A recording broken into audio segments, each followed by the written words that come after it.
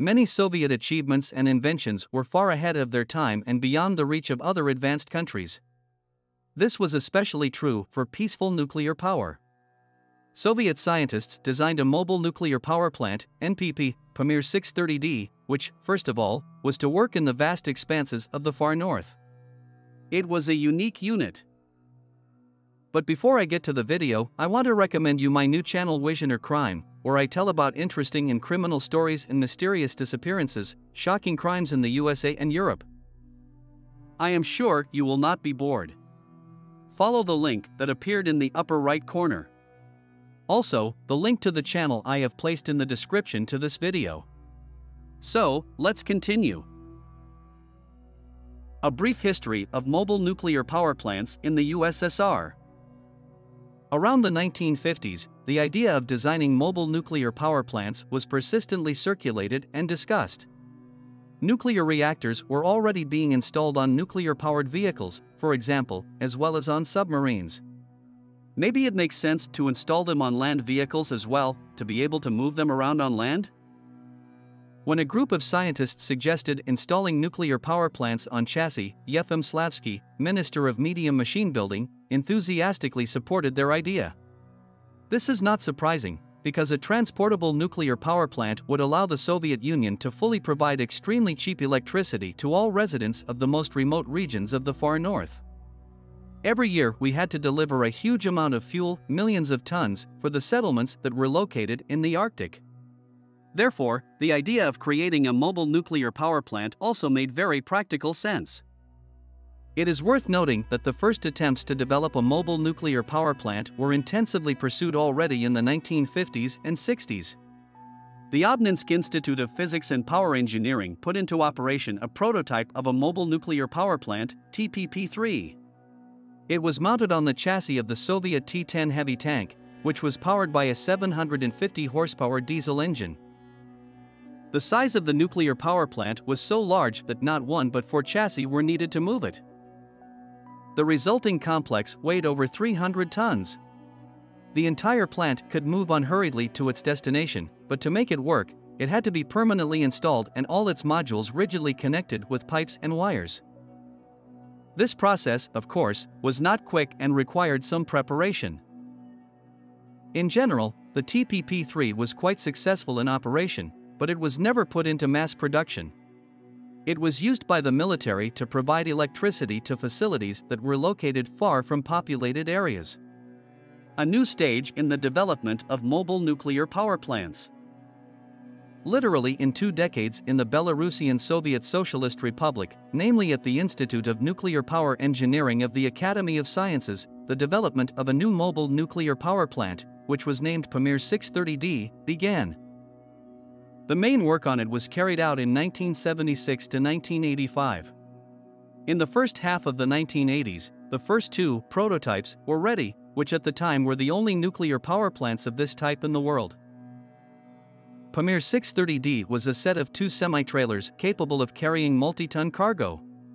There was no ready-made chassis for the plant, so we had to develop a new powerful tractor MAZ 7960. In addition to the chassis, it was necessary to design a completely new nuclear reactor, unlike all previous models. If the TPP-3 used a water-water reactor, the Pamir 630D uses a reactor based on nitrogen tetroxide. This substance has a high thermal conductivity and heat capacity, as well as density, due to which the nuclear reactor was made single circuit and, consequently, more compact. Nitrogen tetroxide was characterized by a serious problem, very high corrosiveness, which could lead to a breakdown of the turbine generator circuit. Inhalation of even a small dose of the substance was fatal for humans. Scientists worked hard to make the operation of the mobile nuclear power plant safer. The core was made of a particularly strong material with a huge margin of safety, a large volume of liquid coolant provided reliable cooling, and the reactor was controlled by a computer program. In essence, it was the world's first autonomous nuclear reactor. And eventually, despite some shortcomings, two sets of nuclear reactors were made.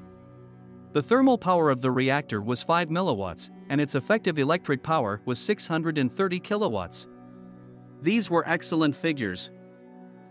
The complex practically did not need any resources for its operation. On one filling of nuclear fuel, the reactor could work up to five years. The tractors with high cross-country ability could deliver Pamir 630D station to any place of the far north, even if the road crossed the tundra and swampy terrain. For chassis were needed to transport the mobile nuclear power plant. The basic blocks were carried by MAZ 7960 tractors, and the automated control system of the reactor and the auxiliary power unit with two diesel generators were carried by KRAZ 255 heavy haulers. After arrival at the site, the whole complex was installed permanently and connected to the control system and backup power plant. Disposal of Pamir 630D. As a result, the mobile AC worked for about a year. The operating time of the plant was 3,500 hours in various load modes. The nuclear fuel reserve made it possible to ensure operation for several more years. Pamir was planned to be put on the assembly line. The Soviet government hoped that small capacity nuclear power plants would be able to provide heat and electricity to about 33 settlements in the far north. However, these plans did not materialize. On April 26, 1986, there was a terrible accident at the Chernobyl nuclear power plant. After that, the Pamir 630D complex was subjected to massive criticism. At first, all related tests were stopped, and then, by the decision of the USSR Council of Ministers in February 1988, all work with the mobile nuclear power plant was shut down altogether. The main reason for the closure was as follows insufficient scientific validity of the choice of coolant. Both copies of the mobile NPP were decommissioned and scrapped. Both copies of the mobile NPP were taken out of service and cut up at the end of 1986. The tractors went for dismantling. The Pamir 630D survived to this day in a small number of schemes, descriptions, and scale models, even by the standards of closed Soviet projects. Only two elements of the complex have survived the metallic structure of the reactor core turned into a fountain on the site of the Institute developer. Part of the stainless pipes of the steam generator were turned into the decor of the reactor nightclub in Minsk, now closed.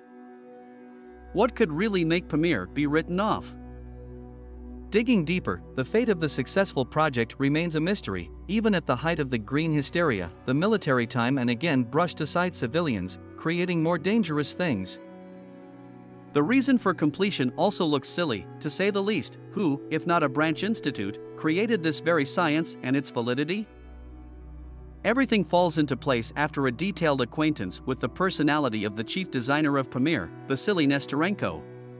The fact is that it was the director of the Institute of Nuclear Power Engineering of the Academy of Sciences of the Belarusian Soviet Socialist Republic, who was responsible for the entire nuclear power industry of the Republic of Belarus and he was also the first public person who was concerned about the safety of people at the Chernobyl nuclear power plant during the accident, drawing attention to the fire in the reactor unit. I thank you for watching. Your support is very important to me. Your comments and thumbs up motivate me to release new videos on interesting topics. Subscribe and turn on notifications. See you in the new videos.